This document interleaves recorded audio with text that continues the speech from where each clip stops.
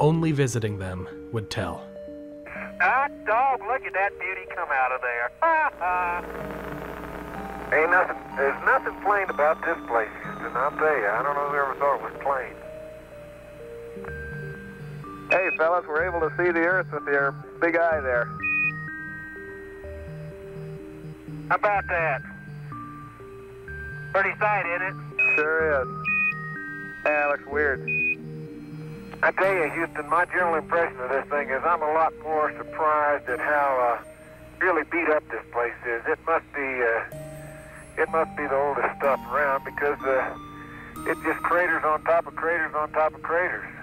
I mean, there's some really big old subdued craters that we don't even have mapped on our uh, photo map. I'm sure of it. Donnie, you ain't gonna believe it, but the food is blowing up like like a balloon. You're kidding me? No. Popped out of that storage, busted the snap.